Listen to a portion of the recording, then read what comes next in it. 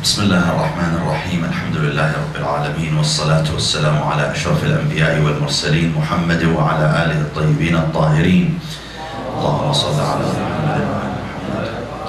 قال الله العظيم في محكم كتابه بسم الله الرحمن الرحيم. يا عبادي الذين أسرفوا على أنفسهم لا تقنطوا من رحمة الله. إن الله يغفر الذنوب جميعا. As we are concluding this retreat, my dear brothers and sisters, I would like to make my last reflection on the great, great quality of our Lord. And that is His rahmah, His mercy. Allah subhanahu wa ta'ala has 99 names. One of these names is Al-Wadud. He is Al-Wadud. He's the loving one. We often talk about His anger, His wrath We talk about how important for us to fear Him, which is very true. We should fear Allah subhanahu wa ta'ala and His wrath. But at the same time, my dear brothers and sisters, our fear should not trump our hope in His rahmah. We should also have strong faith in His rahmah, in His love. سبقت رحمتي غضبي. My Rahmah trumps my anger, Allah subhanahu wa ta'ala says. And what do we read in Dua Kumail? Ya Sari' al-Rida. Ya Sari' al-Rida. Akhfir liman la yamliku illa dua. Allah is Sari' al-Rida. Quick to be pleased. Quick to be satisfied. It doesn't take me long to make him happy with me and satisfied with me. Allah does not hold grudges against his servant. Allah subhanahu wa ta'ala loves them one time Allah subhanahu wa ta'ala took Ibrahim so high وَنُرِيَ إِبْرَاهِيمَ مَلَكُوتَ السَّمَاوَاتِ وَالْأَرْضِ He showed him the kingdom of heaven and earth. He was able to see everything. Allah gave him that vision that he can see through walls and ditches. He saw few people are committing sins. Two couple are committing adultery. And Ibrahim was so angry. قال إلهي عذبهم May Allah punish these two couple. And then he saw another two couple committing another sin. And he asked Allah subhanahu wa ta'ala to punish them. Allah says, wait, wait Ibrahim, this is not how I rule. This is not how I deal with my people. I don't hasten my punishment. I'm so patient with my people because I love them. You did not create them, Ibrahim. I created these people. So leave me alone. I know how to handle my people. Don't ask me to punish them. I know how to handle my people. So my dear brothers and sisters, as we leave from the camp today, inshallah, and you arrive safely home, keep that in mind that Allah loves you and that's why He invites you. That's why He cares about you.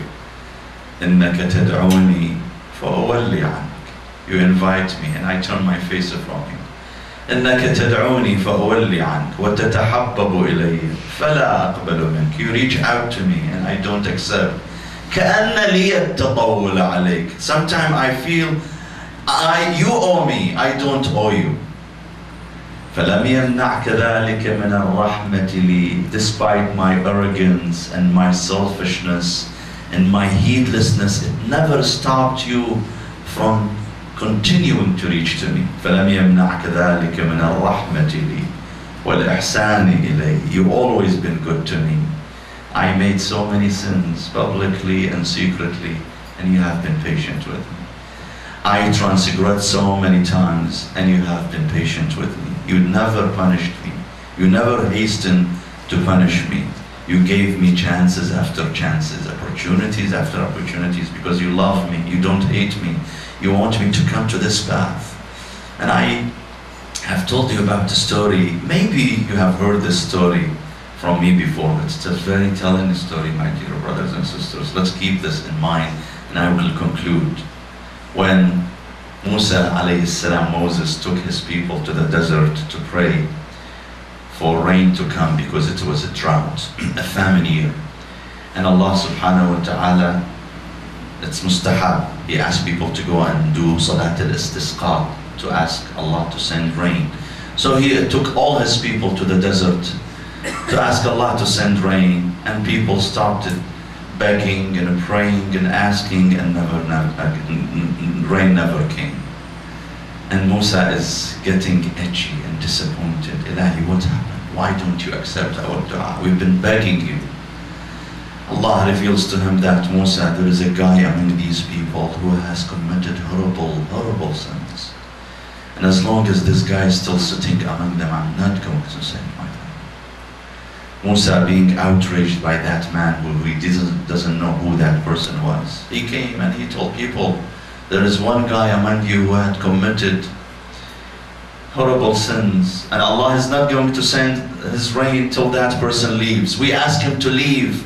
We ask him not to be a reason for Allah not to send his rain to us. We ask him to leave. And the man knew it was him.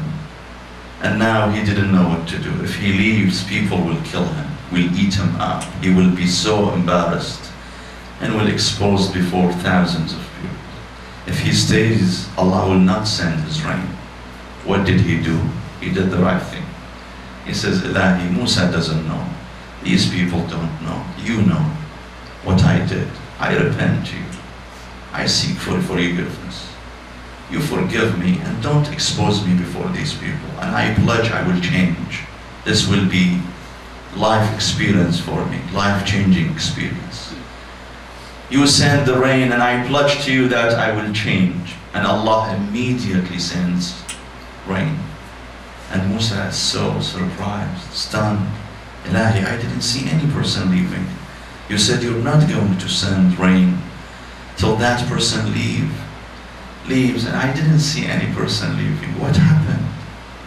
Allah says, look, that person repented and I accepted his repentance. And I sent my ring.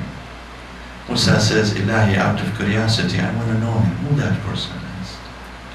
Allah says, look Musa, when he was sinning, I did not expose him. Now that he repented, you think I would expose him? Never. I was, I was patient with him when he was sinning. I never exposed him to people. I did not even let you know who he is. Now that he repented and he sought my forgiveness, you think I will expose him? I will not do this. My rahmah will not allow that. This is Allah, my dear brothers and sisters. He's so loving, so caring. He loves you. That's why he brought you here. That's why he let Hajj Hassan to build this, Hajj Hassanin to build this camp. So he changes your life through these people. So take this opportunity, my dear brothers and sisters. Be consistent with your salah. Make a pledge with Allah now, not with Hassan al-Qazwini, not with Hajj Hassani, with Allah. Say, now that Allah has given me this opportunity, I will take it wholeheartedly. I'm going to pray every day. I'm not going to miss my prayer. Sisters, there is one or two or five or ten of you who don't put hijab, take this opportunity and say, I'm going to be stronger than the shaitan and stronger his temptation. And Allah has given me the opportunity today to be with him. I will choose to be with him. I'm not going to be with the shaitan. I'm going to put hijab on. Make that pledge now before the shaitan would come and try to persuade you not to. Make that a pledge with Allah. Say, Allah has given me this golden opportunity. He loves me. That's why He wants me to put hijab. Not that He wants to restrict my movement. This is an opportunity that may not happen. Now your heart is so soft and open for His rahmah. Take advantage of it. And I say to myself as well, you take advantage of this opportunity. Stay on the right path. Don't be arrogant. Don't be selfish. Don't show off. I preach to myself as well, my dear brothers and sisters, as I preach to you. We all need to surrender our will and submit our heart to Allah subhanahu wa ta'ala. Just like one of you, God forbid, when he goes through operation bypass, he submits the most precious part of his body, which is his heart, in the heart of the surgeon because he trusts him. That's how we need to trust Allah subhanahu wa ta'ala. We trust Him with our heart. We give Him our heart. We tell Him, Ilahi, You lead my way. You lead my intention. You lead my path in my life. And you lead my life. And I follow you. I follow your faith. I follow your light. I wish you all the best, my dear brothers and sisters. And I hope, inshallah, there will be a life of joy and a blessing awaiting all of you. My dear brothers and sisters, wassalamu alaikum wa rahmatullahi